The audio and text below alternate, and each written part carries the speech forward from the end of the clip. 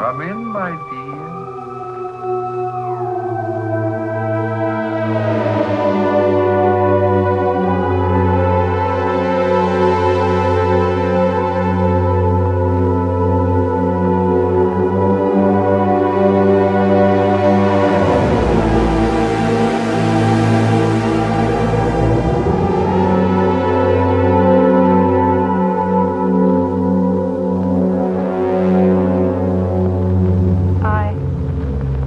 I'm sorry to trouble you.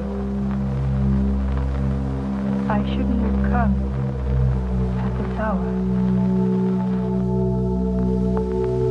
Oh, it is no trouble at all.